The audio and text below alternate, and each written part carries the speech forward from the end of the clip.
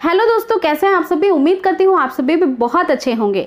आज के इस वीडियो में आपका एक बार फिर से सभी का बहुत बहुत स्वागत है। आज के इस वीडियो में मैं आपको बताऊँगी कि कमर दर्द की शिकायत गर्भावस्था में कब होती है, क्यों होती है, कब चालू होती है क्या करें कि इसमें राहत मिल जाए? क्योंकि कमर दर्द हर महिला को होता है प्रेगनेंसी के दौरान।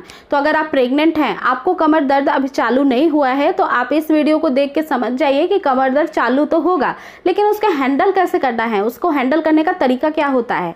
साथ ही साथ, प्रेगनेंसी के दौरान कमर दर्द की शिकायत बहुत बढ़ना चालू क्यों हो जाती है? कौन सी ऐसी गलती होती है जो कमर दर्द में बहुत ज़्यादा बढ़ोतरी करती है, जो प्रेग्नेंट महिला को बिल्कुल नहीं करना चाहिए? आज के इस वीडियो में हम सारी बातें जानने वाले हैं। सबसे पहले जानते हैं कि कमर दर्द होने का कारण क्या होता है। देखिए फ्रेंड्स, जब आपकी प्रेगनेंसी रुकती है, आपका गर्भावस्था बहुत तेज़ी से बढ़ता है, आपका जो गर्भ है, वो बहुत तेज़ी से बढ़ने लगता है। आपके यूट्रस का साइज़ बिगर होने लगता है और यहाँ के लीगामेंट फ्लैक्सिबल होने लगती है। बढ़ता हुआ गर्भाशय आपके बैक पे रीढ़ की हड्डियों पे बहुत ज़्यादा भार देता है। स्पेशली जब आप पीठ के बल सोती हैं या फिर झुक कर काम करती हैं तो उस समय बहुत ज़्यादा प्रेशर आता है आपके पीछे के बोन पे, जो रीढ़ की हड्डी में होती हैं और इसकी वजह से आपको कमर दर्द होने लगता है। दूसरी बात कि बहुत सारे लिगामेंट फ्लैक्सिबल होते हैं, आपका पेल्विक मसल्स जो होता है, उसमें बदलाव होते रहते हैं। तो ये शरीर के लिए काफ़ी ज़्यादा कॉम्प्लिकेटेड होता है, तुरंत से इसको संभालना। और ये आपको दिक्कत गर्भावस्था में कमर दर्द की सेकेंड ट्राइमेस्टर में ज़्यादा होती है, जब बच्चे का साइज़ भी बढ़ जाता है। क्योंकि बच्चे के साइज़ को भी हैंडल करना है शरीर को, आपका भी भार उठाना है तो इस दौरान शरीर का जो पोस्चर होता है महिलाओं का, वो थोड़ा झुक जाता है सपोर्ट के लिए।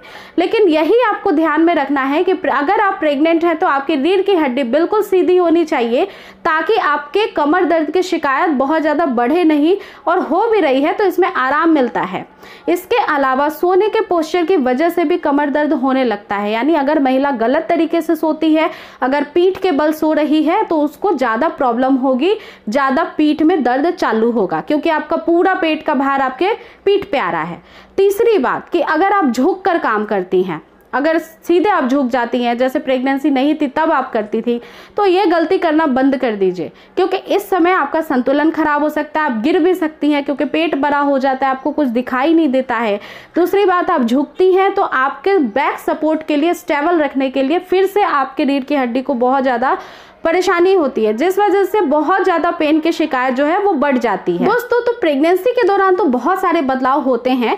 इसी की वजह से आपकी हड्डियों में, जोरों में दर्द की शिकायत, कमर दर्द की शिकायत, आपके पेल्विक मसल्स में पेन की शिकायत तो होती ही रहती है। लेकिन इसको हैंडल कैसे करना है? तो देखिए, अगर पानी ठीक से आपके शरीर में होगा तो आपको दर्द कम होगा, ये मेडिकल रिसर्चेज हमें बताती हैं। इसलिए पानी की मात्रा अच्छे से मेंटेन रखना है। आपको करीब दो से तीन लीटर पानी पीना पीना ही है प्रतिदिन। तो आप एक रूटीन बनाइए ताकि हाफ़ एन आवर्स में ट्वेंटी मिनट्स पे आपको एक अलार्म बजे और बताए कि हाँ एक गिलास पानी अभी पी लेना है। दूसरी बात, कभी भी आपको झुक कर काम नहीं करना है, भारी बाल्टी सिलेंडर नहीं उठाना है। अगर दर्द काफ़ी ज़्यादा है तो आपको सीढ़ियों को भी कम चढ़ना, उतरना है धीरे धीरे काम करना है। आपको झुक करना काम करते हुए अच्छे से बैठ जाना है, फिर काम करना है। सोने के पोजीशंस को ज़रूर बदल लेना है, करवट लेकर के सोना है। बहुत ज़्यादा कोशिश करनी है कि करवट लेकर के ही दाएँ हो या बाएँ हो, सोने की कोशिश करें। आप पीठ के बल बिल्कुल भी सोना बंद कर दीजिए। इसके अलावा जब आप बैठे रहते हैं तो तकिए का लेना बहुत ज़रूरी है आपके बैक पे, क्योंकि ऐसा करने से उसको आराम मिलेगा, नमी मिलेगी और साथ ही साथ आपको दर्द में आराम, राहत मिलेगा। आप चाहें तो हीट बैग कोल्ड बैग का भी प्रयोग कर सकती हैं, थोड़ी बहुत सिकाई कर सकती हैं। अपने ही हाथों से आप मालिश कर सकती हैं या हल्के हाथों से किसी से भी मालिश करा सकती है, बहुत ज़्यादा मालिश नहीं कराना है। क्योंकि फ्रेंड्स ये हार्मोनल चेंजेस की वजह से भी होता है रिलैक्सिंग हार्मोन बढ़ने की वजह से भी कई बार हमें ज्वाइंट्स में पेन स्टार्ट हो जाता है। तो इसलिए अगर दर्द सहनीय है तो आप इसको ठीक तरीके से हैंडल कर सकती हैं अपनी लाइफ स्टाइल में चेंज करके। अगर असहनीय है, अब किसी भी प्रकार की कोई भी घरेलू उपाय से ठीक नहीं हो रहा है तो तुरंत डॉक्टर के पास जाना चाहिए, क्योंकि डॉक्टर उस समय पर्टिकुलर क्या प्रॉब्लम है, वो उसकी डायग्नोस करेंगे। उसके बिहार पे आपको मेडिकेशन दी जाएगी। कई बार इस कंडीशन में फिजियोथेरेपी की भी ज़रूरत पड़ती है। कुछ पर्टिकुलर प्रेगनेंसी एक्सरसाइजेज एडवाइस की जाती हैं। वैसे तो आप एक्टिव रहिए, टहलना मत छोड़िए, आप प्राणायाम करना मत भूलिए प्रेगनेंसी के दौरान, क्योंकि ये सारी चीज़ें आपके हार्मोन्स को रिलैक्स करती हैं, साथ ही साथ आपके लीगामेंट्स जॉइंट्स को फ्लेक्सिबल रखती हैं। तो दोस्तों, उम्मीद करती हूँ ये वीडियो आपके लिए बेहद हेल्पफुल होगी।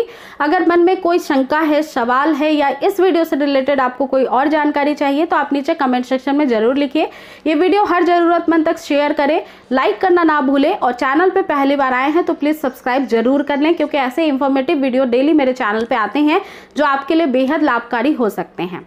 तो चलिए अपना पूरा ध्यान रखिए। नेक्स्ट टाइम फिर से मिलेंगे नेक्स्ट वीडियो में एक बहुत ही अच्छी टॉपिक के साथ। टेक केयर दोस्तों, इस वीडियो को देखने के लिए आपका दिल से शुक्रिया। Thanks for watching